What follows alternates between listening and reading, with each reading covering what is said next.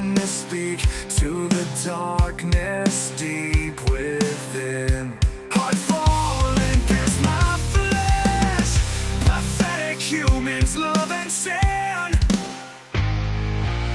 The devil lurks in every detail, my body seeks a human.